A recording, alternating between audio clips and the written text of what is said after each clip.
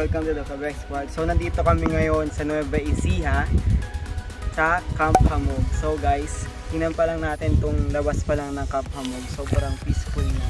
Ang ganda ng paligid, ang ganda ng mga bundok. Yan.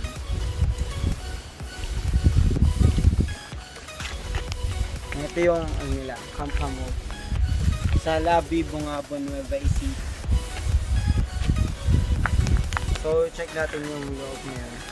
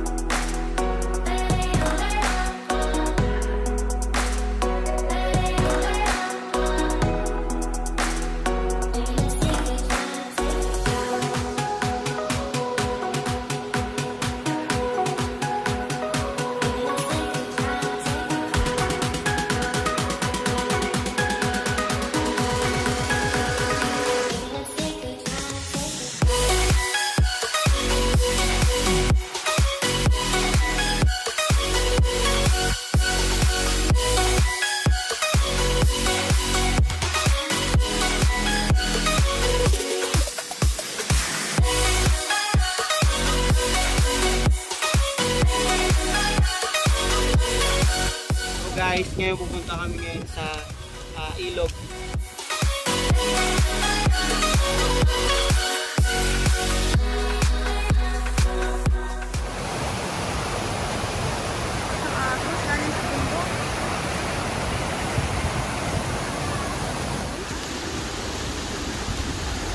Yana, wait ha. Paano sa ayun? Baliw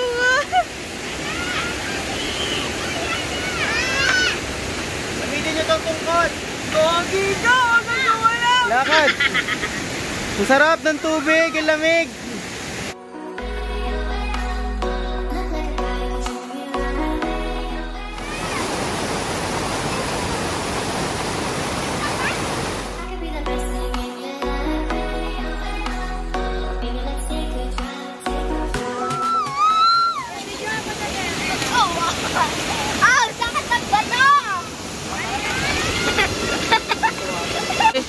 Sasabi mo, babalik na tayo. So guys, ngayon pabalik na kami sa may camp.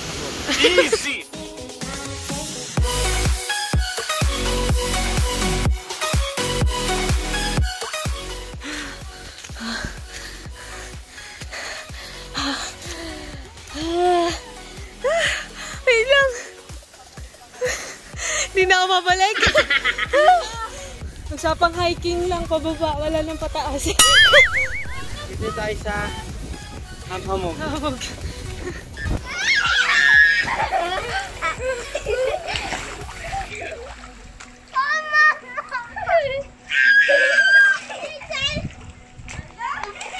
After namin umakyat, ipapakita lang namin sa inyo yung lugar dito sa ah, Camp Hamog. So, meron pang bata na pool.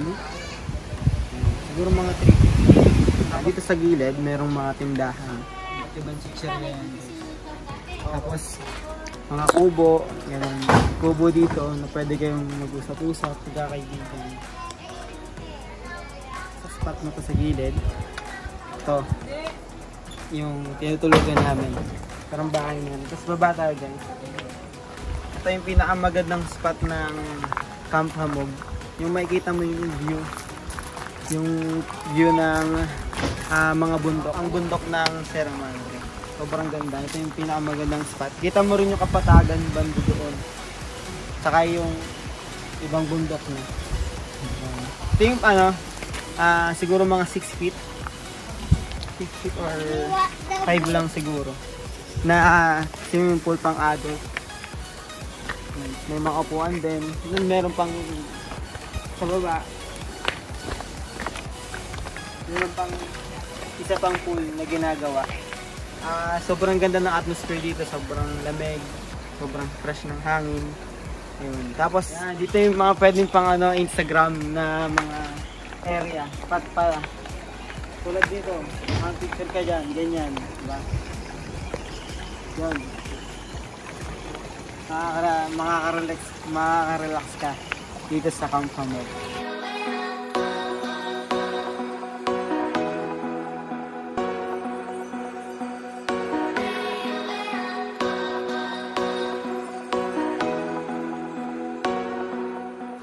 Yung doon pala sa baba, may ginagawa rin, pang couple lang siya, na bedroom. So, ito rin isang maganda ring lugar nila for couples. Yan.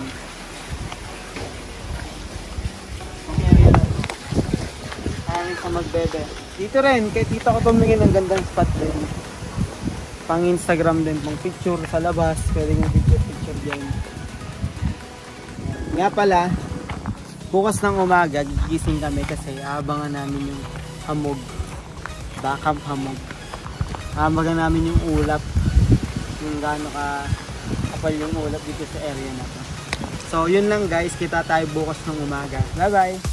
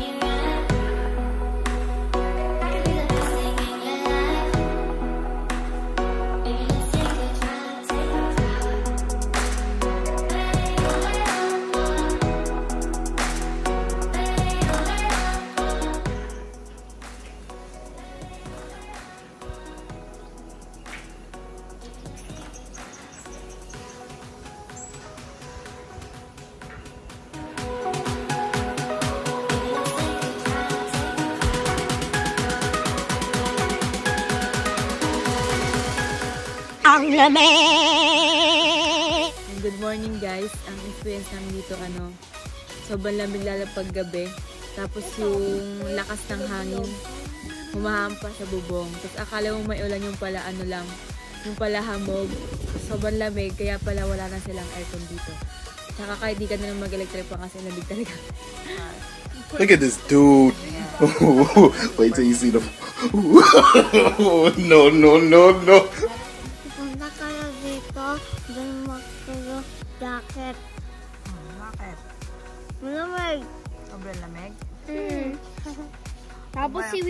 Malamig. Pag Wag maligo kayo sa CR, malamig ba tubig? yeah. Tama jacket.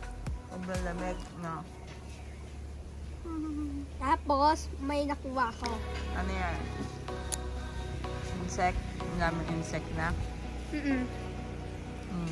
Ito. Guys, pupunta ulit kami sa... Saan yan? Sa river. Ayaw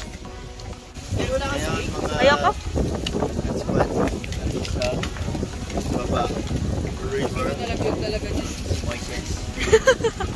Around. Okay. Let's. Go, let's go.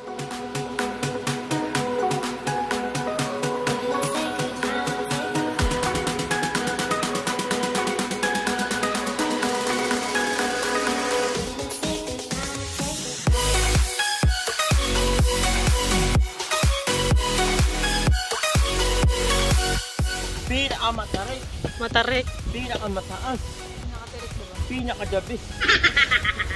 Pinaka. Oh. Gusto yung challenge. Akyatin nyo. Sige, bata kayang kayo. Go. Ginagawa mo.